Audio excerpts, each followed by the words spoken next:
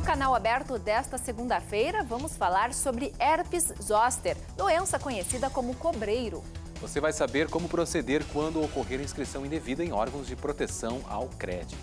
Os fatos do dia na capital e no interior, entrevistas, a previsão do tempo para todas as regiões do estado e uma agenda completa de arte e cultura. Canal aberto, vai lá, do meio-dia e 30 até 1h30 da tarde.